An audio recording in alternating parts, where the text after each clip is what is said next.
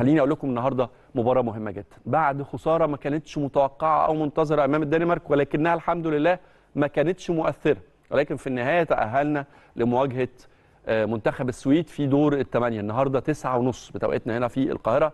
منتخب مصر لكرة اليد إن شاء الله في مواجهة مصيرية ومهمة في طريقه بإذن الله للمربع الذهبي. هيقابل فيها منتخب السويد صاحب الأرض طبعا والجمهور في نسخة 28 من بطولة كأس العالم.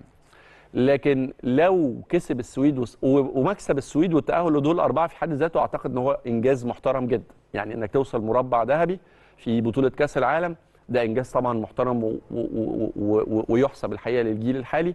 وأنا شايف إن إحنا نقدر نتفوق على السويد. إحنا بالمناسبة منتخب السويد كسبناه وتفوقنا عليه في أولمبياد طوكيو وتأهلنا برضو أو كانت السويد هي طريقنا للمربع الذهبي. فإن شاء الله بإذن الله نقدر.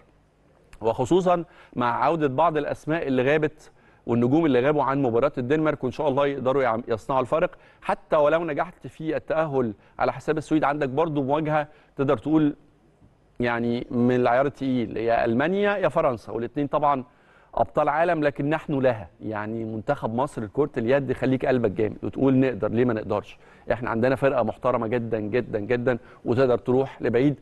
الأهم إن شاء الله إن إحنا نركز في ماتش النهارده ونقدر نتجاوز عقبة السويد وبعد كده يبقى يحلها حلال ونفكر هنلاعب مين فرنسا كانت أو ألمانيا.